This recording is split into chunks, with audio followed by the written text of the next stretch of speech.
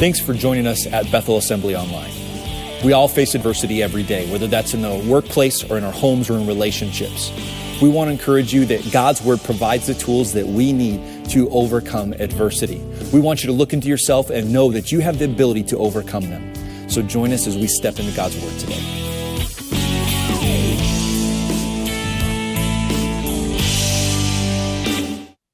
But if you remember last week, we kicked off a new series called Overcoming Adversity. And we talked about the story of David and Goliath, and we talked about adversity around every corner. We all face it, but we talked about this idea that we need to be ready for adversity. See, before we can really get into the measure of adversity and face those things, we got to make sure we're ready. So we talked about some of those components. If you missed any of that, I want to encourage you, can go to our website. You can check out uh, last week's message, and it'll set you up kind of in a greater way for being ready for adversity. So I want to challenge you to do that. But we're going to continue with another part of David's story today. So I want you to turn to 1 Samuel chapter 22. All right, if you don't have a Bible, there's one in a seat pocket there in front of you. You can take that. That's our gift to you. All right, 1 Samuel is in the Old Testament, and you, as you turn there, I want you to get camped out here in 22 because we're going to be camped out on this passage of Scripture for a little while, okay? 1 Samuel 22 starting at verse 1. Here we go. David left Gath and escaped to the cave of Adullam. When his brothers and his father's household heard about it, they went down to him there. All those who were in distress or in debt or discontented gathered around him, and he began their, became their commander. About 400 men were with him. So I want you to put yourself in his shoes for a second. You have just beaten the Philistine Goliath, all right? The warrior of all warriors. You just slayed him, you took him out. We talked about that last week. All right, you just killed Goliath, and now you are the war hero. Imagine you were the war hero of the country. You're the one who seemed so unlikely to face this kind of adversity, but you face the giant, you take him down, you are the champion, all right? You are coming into instant fame. You're the one that everybody wants to be around and have a picture with, right? All right? Imagine yourself there like David. You're the one that's there, but then something happens, something changes. Because imagine killing the Philistines' greatest warrior, all right? You think the Philistines are going to be a little upset with you? Yeah. So they begin to put a target on David's back. So they're not a big fan of him. And then with all the fame, we see King Saul, the current king of the time, he's now getting jealous of David's fame. He's getting frustrated with the kind of accolades this young man is getting. So he's getting frustrated. And so now, with this, there's a price put on his head, and there's many attempts at his life. Consider going from fame to fugitive. Consider going from the height of, you know, popularity and being someone that everybody wanted to be around to now you're at the bottom of the barrel and everybody is out to get you because the king and the Philistines, they're not a happy camper with you. So look at the first part of this verse again. 1 Samuel 22 1. David left Gath and escaped to the cave of Adullam. See, when adversity comes on us and this kind of adversity hits you, I don't know about you, but you'd probably be running too, right? You'd probably be looking for the nearest cave to hide in. If everybody's out to get you and there is a bullseye on you, if there is a, a, a warrant out for you, if there's a want poster out and it says, We want you and you're going to die, I don't know about you, but I'd be running. Anybody else? Everybody else is like, No, I'd face him. Don't pretend like you're all courageous, all right? Come on, all right? You'd be like me, you'd be running for the hills, you'd be running for a cave, you'd be going to find something to hide in because if you have that many people and these high up people going after you, you're gonna look for somewhere to hide. And so adversity is hitting David in this new way, and now he's looking for a place to run and hide. And I think we would all do the same. Next week, I'm going to give you some keys that you can use when challenges come your way. So I don't want you to miss next week. But today, I want to give you some wisdom and encouragement that we see happening in David here in this passage of Scripture. There's some wisdom that we can obtain from him. See, the reality is, is David knew when it was time to face Goliath. He knew when it was time to face him. He knew when it was time to step up to the adversity and face it head on. But now here we see David knowing when it was time to withdraw when it's time to withdraw from adversity. See, that's what wisdom does for us. See, we can always say, well, adversity comes, you just got to face it and head it head on and just get, you know, put up your, your fist and get ready for the fight. The truth is, though, is sometimes when adversity comes, we got to know when to step back and withdraw.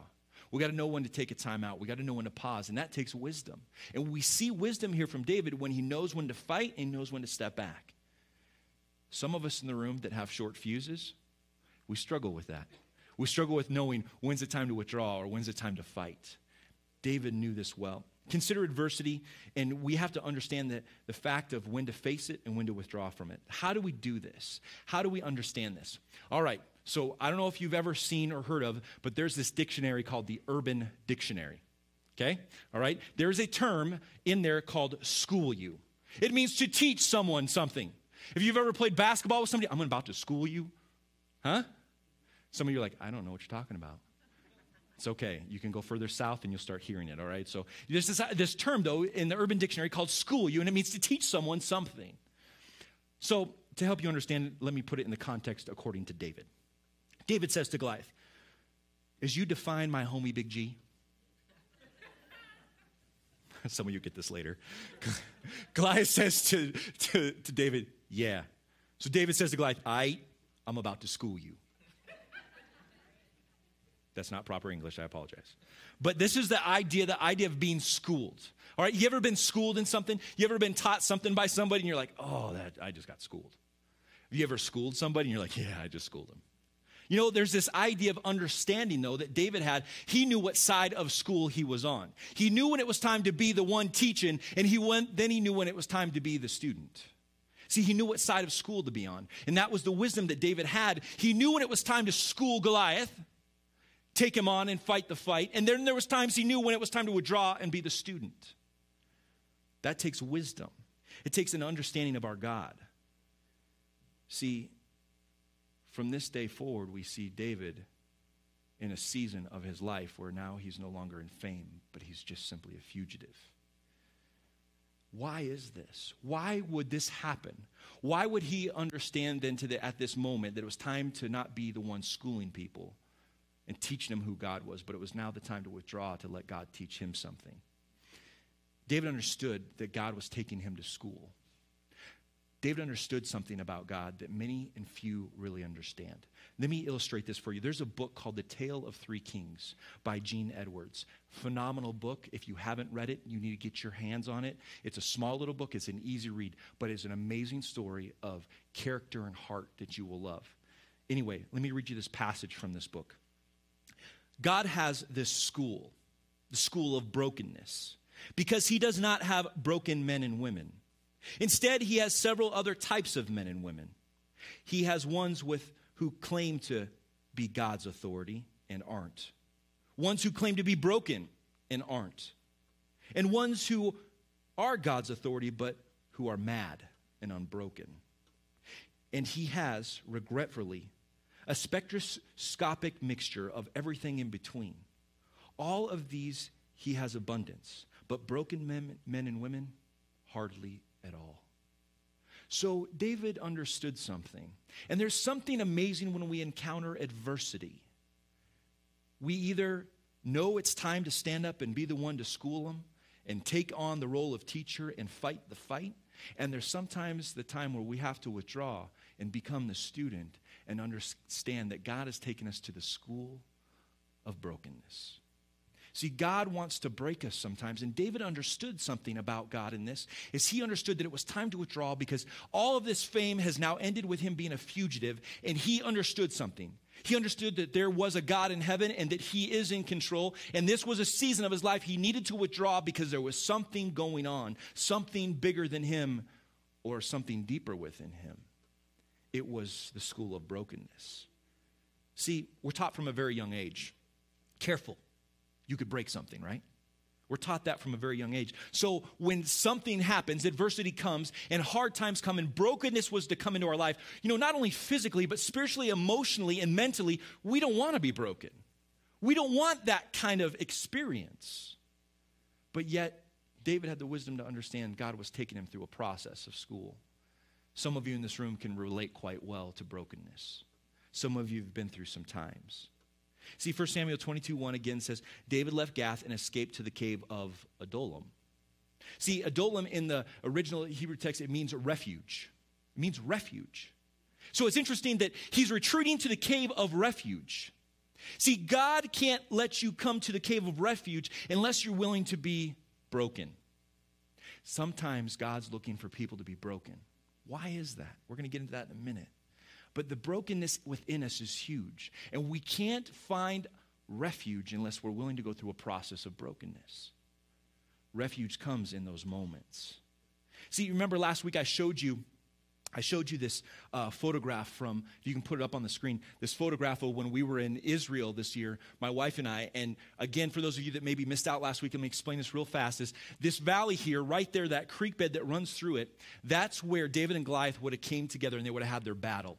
Across the way where that you see that town of today, that was where Israel was camped out. The Philistines were on the opposite side.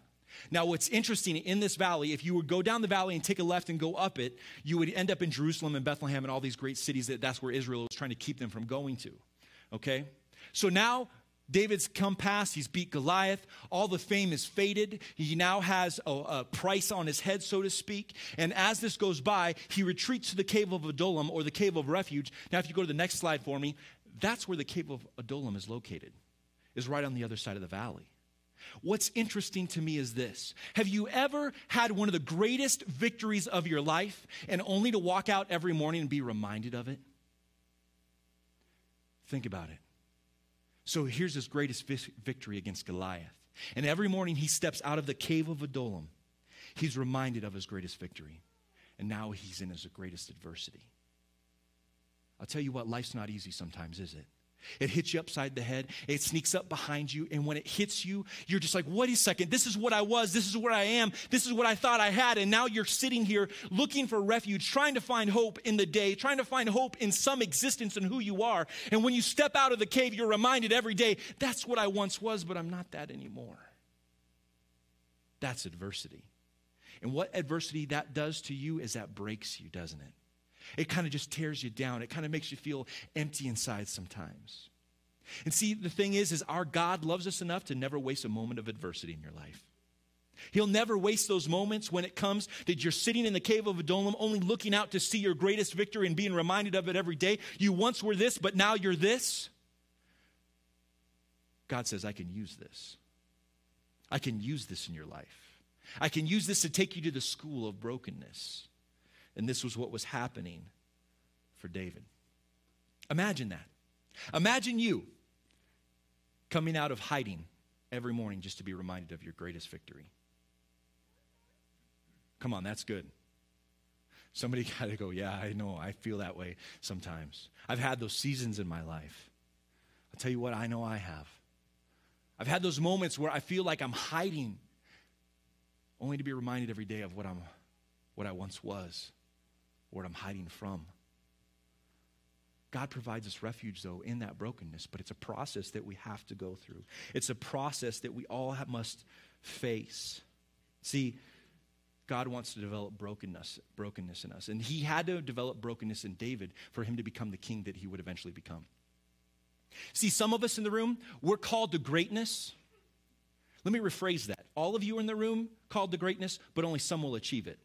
You know why? Because you're afraid to go through brokenness. You're afraid to run to the cave of refuge. You're afraid to let God do something miraculous in you, but you're afraid it's going to hurt, so you push back from God. No, God, I thought when I serve you, it's supposed to be easy. Whoever sold you that bill of goods, I'm sorry. Seriously. When you serve God, it's not easy. When you serve God, it doesn't make life a bowl of cherries. No, you still face adversity. But in God, you will find refuge in Him if you're willing to go through the school of brokenness. But you have to be willing to take that school on. You have to be willing to become the student so that someday you can become the teacher. So that someday you can become the one who says, I'm going to school you now. But few of us are willing to go through that. And I really do believe that every one of you in this room is called to something great. Only some will achieve it because some aren't willing to go to the cave of refuge and find their brokenness. David was. And if you're wise enough to understand when you should fight and when you should withdraw, you will begin a process of brokenness and you will become somebody great. I promise you that. I see it in God's word time and time again. When He breaks us down, He builds us back up. And He will not allow a moment of adversity come by to not be a part of shaping you. So you take refuge in Him. Why would He do this? Because brokenness develops a dependency on God. We naturally aren't dependent on God. We're dependent, we want to be dependent on ourselves. No, I got this handled, God. That's okay. Let me show you how it's done. Right? Anybody ever done that with God? Just a couple of us. The rest of everybody else is saints. You're awesome. Seriously, though, come on. We've done this. No, God, I got it handled. No, we're okay. I got it. But see, what God does is He takes us through the process so we develop a dependency on Him. Rarely today, especially in America, do we have a dependency on Him. And God's looking for us to say, you know what? I'm dependent upon you. I'll take refuge in you. I'll find my strong tower, my shelter within you. He's looking for people just to say, I'll lean into you, God. I'll find you and I'll hide within you. See, I want you to look at this. Psalm 57. David writes this psalm while he's in the cave of Adullam. He writes Psalms 57. Here's what he says, verse 1 Have mercy on me, my God. Have mercy on me, for in you I take refuge. Hello? I will take refuge in the shadow of your wings until the disaster has passed. Often, when disaster comes, we end up raising our fist to God and say, Why? And get angry with Him. What does He want to teach us in that moment? Verse 2 I cry out to God Most High, to God who vindicates me. Verse, now skip down to verse 10. I will praise you, Lord, among the nations. I will sing of your, you among the peoples. 11. Be exalted, O God, above the heavens. Let your glory be above all the earth. This is in the midst of being in the cave of refuge. This is in the midst of being in a disappointing place. This is in the midst of a painful process of brokenness. But yet, what happens for us sometimes is that we like to what? Pout, don't we? Come on, you pouters. I'm a pouter, all right? I whine, I bicker, I complain. You know, when I'm in a horrible place, I'm like, God, why? Why? And I start whining and crying and moping. I love what David does here. He says, I will need your rescue. I, will take refuge in you. But God, I exalt you. wow. You want to get through the school of brokenness a lot faster? Start worshiping God. You want to get through the school of brokenness a lot faster? Take heed and listen and learn and begin to exalt the creator of heaven and earth. He's still God on his throne, even in your bad day. Even in your bad day. You'll pass the class a lot faster. Often we think, don't we?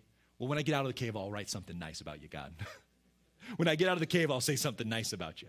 When I get out of the cave, you know, I'll worship you. When I get out of the cave, I'll go to church. When I get out of the cave, I'll do this with my kids. When I get out of the cave, I'll do this in my marriage. When I get out of the cave, wait a second. God's looking for you to do something now in the cave. He's looking for you to go through the school of brokenness so you can do something amazing now. Go through the process. Don't skip the process because God wants to take you through it so that you can become the one that schools others and teaches them. You might feel like a fugitive right now, but you won't be forever. You might feel like you're hiding, but you won't be forever. Because remember, you're hiding within the cave of refuge. You're hiding within Him. You're leaning into Him. You're stepping under the shadow of the Most High. See, when you're wise enough to know what side of the schooling you're on and you allow yourself to be broken, you take refuge in God and something amazing happens. I want you to look at again 1 Samuel 22, 1 through 2, the whole passage. David left Gath and escaped to the cave of Adullam. When his brothers and his father's household heard about it, they went down to him. All those who were in distress or in debt or discontented gathered around him, and he became their commander. About 400 men were with him. Look at that first part there. When his brothers and his father's household heard about it, they came down to him. See, him and his family were estranged, they were separated, there were some issues going on. But see, when you go through brokenness and when you hide in God's refuge, those relationships that were once broken start to come back around. Some of you haven't been willing to be broken. Some of you haven't been willing to walk through that schooling. And if you are, I promise you, you'll see relationships that were once strained, they'll become whole again. But you have to lean into God because God says, you know what? I need relationship with you. Put your dependency and refuge in me and then all the other peripherals, all the other relationships, I'll put them into play. I'll put them back and right. Some of you are sitting here today and you feel like you don't have a relationship with this person or that person, or you feel like there's pressure here or there's pressure there.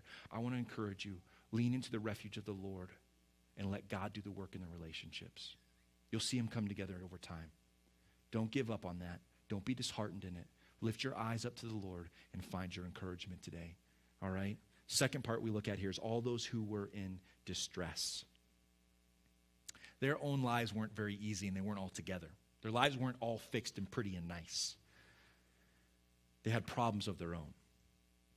Yet God called them to the cave of Adullam with David. See, when you find yourself in God's schooling of brokenness and you take refuge in Him, there's going to be people that will come to you that are in distress. When you find refuge in God, people will come to you in their distress and look for their refuge. But see, often when we have distress, we don't take refuge in Him. And so when, instead of being attracting to, to people about God, we begin to repel people. Don't we? And see, what God is looking for us to do is go through the school of brokenness so that we become attractive to people and people are drawn to us and they're drawn to the God within us. There's de- distressed people all around us, aren't there? And you might feel like one of them today. But I'll tell you something God is saying, take refuge in me, and I will draw those who are distressed to the cave of Adullam, to the cave of refuge. See, God is looking for a people that will walk in refuge and walk in brokenness so that others will understand and know and come. See, David couldn't understand those who were in distress if he wasn't in distress. He couldn't understand it. And those moments when you've been in distress and you've gone through those painful moments where you find yourself all alone and you're disappointed and you find yourself broken, those are the moments when God says, "Okay, now I have you where you I need you, and now I can let you be sympathetic to those that need need my peace and my presence." You can't be sympathetic to people unless you've been in distress. Can you? Come on. Say yeah. Just making sure you're all awake. You guys are awfully quiet this morning. The sun's shining, the birds are chirping. Come on now. All right? You guys got to cheer up a little bit or drink some more coffee. Now look at this. The next part in debt. These people haven't seen a lot of success. And there's been moments, I don't know about you, but I've had moments where like, wow, is there ever success here? Is there ever going to be a, a, you know a pot of gold at the end of the rainbow? Is there is this going to ever pan out? When we've been in those moments where we have been lacking success, we understand those who have or are lacking success. And I'm not just talking financially, but emotionally, physically, and spiritually. Those who aren't walking in success, they will understand and they will come to you when you're hiding in the cave of refuge. And guess what? They will find refuge with you because you are saying, My refuge is in God. My success does not come from what I accomplish just by my hands, but my success comes from my relationship with God. See, people are looking for authenticity with God, and they can't find it unless you're willing to go through the school of brokenness. See, you know what I understand? I'm in debt. In more ways than one. But I'm in debt. And I'm in debt to the Most High because of what Jesus did on the cross for me. I'm in debt. You know what? I couldn't arrive to heaven on my own. It's through the free gift of Jesus Christ that I can walk into heaven and I can say, and I can hear, and I can love on him, and I'll hear him say to me, Well done, good and faithful servant. It's because I recognize that I'm in debt and I have lacked success in my own well being, and I find success in him. Look for success in the Lord and others will come to you in their debt and they will look for the same success. Are you hearing what I'm saying, church? You're the vessel for the success. You're the vessel to bring people out of their debt. God wants to use you in that. He'll bring you to the cave of Adullam and he'll bring others around you. Now, I want you to look at the next part. Discontented, the discontented gathered around him. Discontented, all right, in the Hebrew means bitter of soul. Bitter of soul. That just sounds rough, doesn't it? I'm bitter in soul. You're walking up to somebody, hey, I'm bitter in soul. Look at your neighbor, say bitter. You say, look at him, say, you're bitter. Anybody ever been, some of you are taking too much pleasure in that. You ever been bitter about life? You ever been bitter in your heart? You've ever been bitter because of what somebody did to you? Have you ever been bitter because you felt like you didn't get the promotion at work that you should have gotten? You ever been bitter with someone because they took something and twisted it on you? You ever been bitter because somebody used something against you? You ever been bitter? See, discontented people are looking to find content, but they'll never find it unless they come to the cave of refuge in the presence of God and allow themselves to be broken and find hope again. But see, that doesn't happen very well unless there's somebody already in the cave saying, Here's the way to brokenness, here's the way to wholeness, here's the way to refuge. See, it's kind of weird, isn't it? You can't find wholeness unless you're willing to go through brokenness. You'll find it if you're willing to come to the refuge of the Lord. There are distressed people in this room. There are distressed people in our neighborhood. They're distressed people that are bitter because of the way life dealt them their hand. They're bitter because of this. They're bitter because of that. And you work with people every day and you are around people in your home that are like that. And I'm telling you, God has set you up so that you will take refuge in Him. And He sets you up so He can show others how to take refuge in Him through you. It's because of distress and because of my debt. And because of my discontented heart that I have sympathy for those that are hurting. And see, when we recognize that we are discontented, when we recognize we've had moments of bitterness in our heart, when we recognize that we're in debt, when we recognize that we're in distress, we then take that sympathy upon others and we show them to the cave of refuge.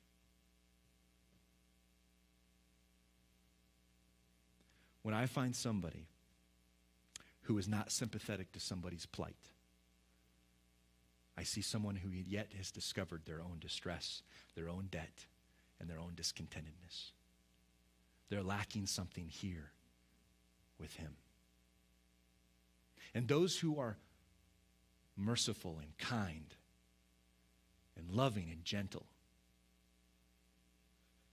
they've been in the cave of refuge and they've been broken. And see, David couldn't become the king that he would later become unless he came to the cave of refuge in his brokenness. See, last week we talked about the fight and taking it to the adversity, right? This week's about knowing when to withdraw and find refuge in God. Some of you this morning need to do that. Some of you this morning need to understand that this is not the moment to put up the fists and fight. This is the moment to withdraw because God wants to teach you something, and it's His brokenness, so that you can understand the brokenness of others, and so that you can bring peace and love, and most of all, the refuge of the Lord. Because He's readily available, but few of us are willing to walk through it. Few of us are willing to walk into it because we don't want to learn this because it's painful. I want to remind you of something, though. Look at First uh, Chronicles 12.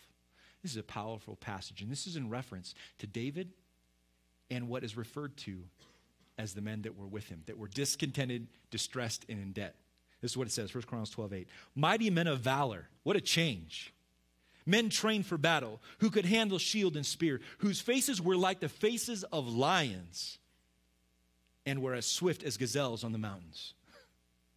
Mighty men of valor. See, the thing is, you might walk into the cave in refuge looking for it. You might walk in in brokenness. You might walk in distressed and debt and discontented and bitter in soul. But I'll tell you something. When you walk out of the cave, when God's done what he needs to do in you, you will walk out mighty men and women of valor. You'll walk out ready for the fight. You'll walk out ready to accomplish what God wants to accomplish in you and through you. Come on, somebody better get excited about that because that's amazing. If we're willing to walk into the brokenness, if we're willing to walk into the cave, we will walk out and someday, somewhere, somehow, we will find ourselves mighty men and women of valor. We'll walk out changed. God wants to change you, God wants to prepare you. It's a different way of approaching adversity. It's not fighting through it every day. Sometimes you got to know when to withdraw. And we got to take the wisdom from David here and get ready because God has something great to do within you. Amen? Tell you what, when we're wise enough to be willing to go through schooling and willing to understand what side of schooling we're on, we're not the one schooling them, we're the one getting schooled by the Lord. We walk into the cave of refuge and we take refuge in Him. Something happens and something changes within us. See, the thing is, is what I love about Bethel is that anybody's willing to walk in, is able to walk into this place. Anybody. We have doctors, we have lawyers, we have law enforcement here. But you know what also we have in our church? We got people that have been in prison. We got people that have had some rough past in history. And you know what? They're just as valuable as anyone else. And it doesn't matter your history or your past. What it matters is where God's taken you.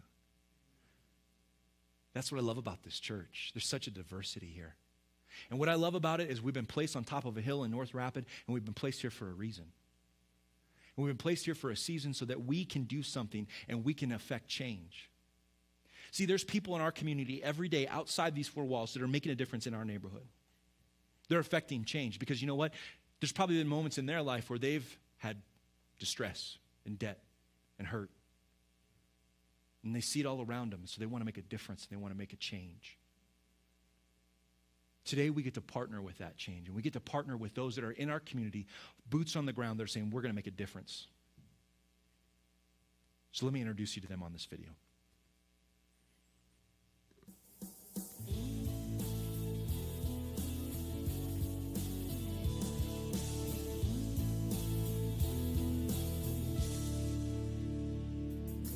Good morning. We are here at General Beadle Elementary, just down the hill from our church.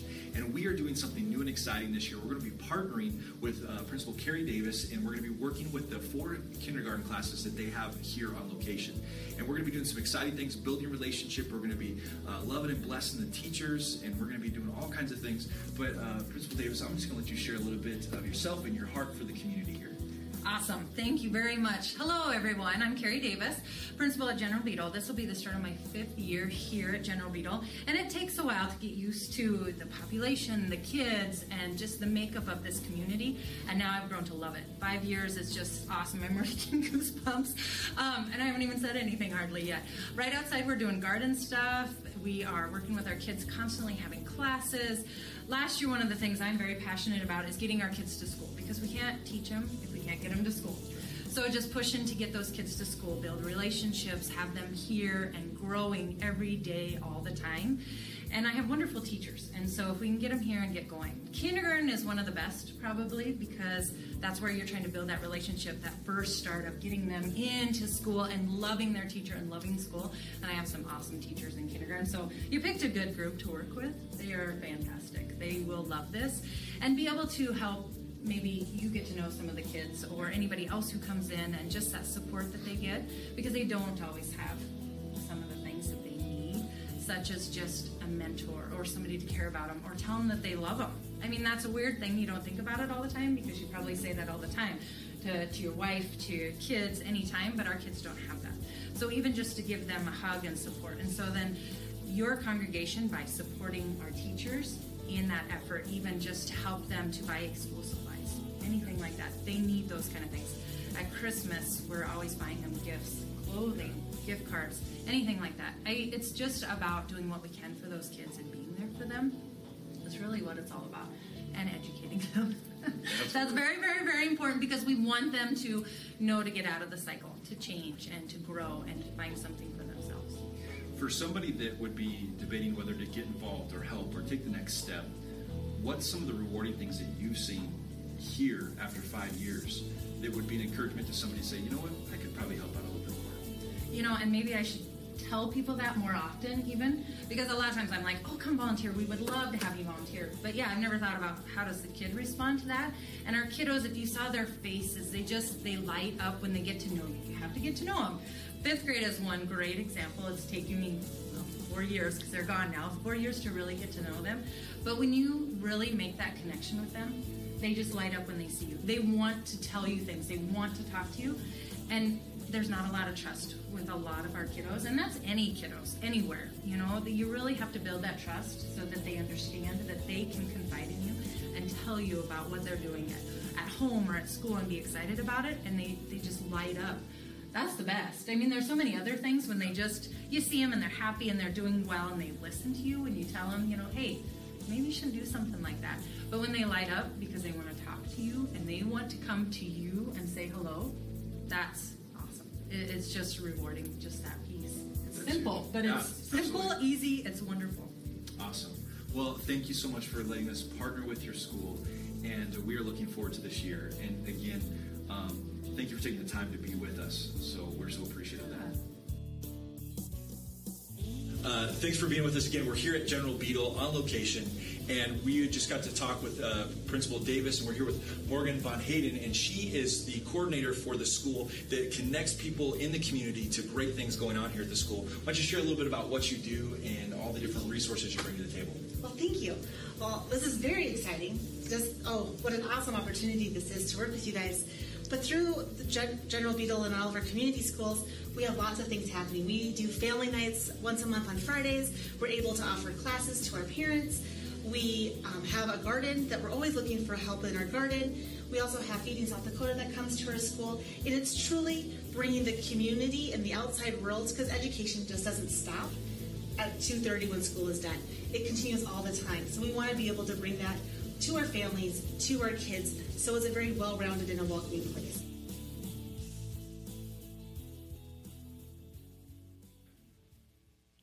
Just to give you a little few things that we're going to be doing is we're going to, you know, before school starts, they always have this kind of this service week where they're, all the teachers are working and uh, getting ready for their classrooms and all those things. And so we are going to cater lunch for them that whole week as they're getting ready for school, and we want to bless them that way. Every month following, I don't know about you, but uh, I love donuts, and uh, we're going to give donuts to put that in the teachers' lounge for them every month. Uh, when they have special events, we're going to help them out. We're going to volunteer and help serve the school through special events. We're going to be then one of my favorite things is that with the four Sunday, uh, the four uh, kindergarten classes that we're adopting, we're giving every teacher a $200 gift card to Walmart because the thing is, is so many teachers are spending their own money to help a kid to get resources or supplies or whatever it is. And I know we partner with organizations like Love Inc. that do a lot of that stuff, but we're going to just connect directly into the school in addition to this. Okay. And one of the things that's amazing is when those teachers have spent all that money, they're going to bring their receipts back and we're going to reload the card for them so that they can make it through the year and they can bless those kids in their classroom. We're going to help them with uh, Christmas parties. We're going to help them with different events like that. And we're going to talk through some of this. But on Friday nights, once a month, you heard that mentioned that uh, they have stuff for parents and for families. And we're going to help be a resource for volunteers for them. Uh, there are kids that need to be read to. Uh, Morgan, the one that you saw there at the end there uh, with the yellow shirt, she said, You know, my goal, she goes, Can I tell you my dream? I loved it when she said that. I'm like, Yeah, tell me your dream. She's like, I want to see every kid have somebody reading with them. Every kid. So, guess what? We can help do that. We can help meet that goal. We can help meet that dream. And you know what? These teachers in this school is making a difference right here in our neighborhood. And you know what? We're going to help affect change because you know what? Sometime, sometime, somewhere, somebody took time with us. Let's take time with them. So, you know what? Would you welcome to the platform Principal Davis and some of her teachers? Come on up here, guys.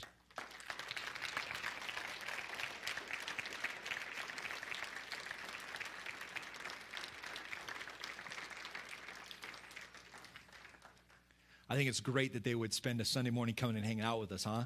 This is pretty cool. Uh, tell you what, it was fun to get to know them and talk with them down at the school.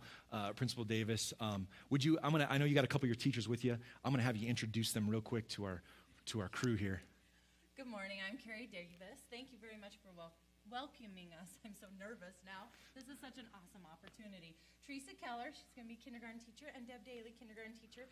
Two others of mine, I have a brand new kindergarten teacher, then we, she's not here, and another one, I think she went on a trip, so she's not here. So we've got two of the four. Awesome. awesome. So Deb and Teresa. Very cool. Um, a couple things that we, we want to start getting you hooked up. So, Principal Davis, that's for you. That's just a gift from us just to say thanks because you opened the door to the school to say, you know what, come in and partner with us. Um, you know, here's your first 200 bucks, okay? So we want to bless you with it, absolutely.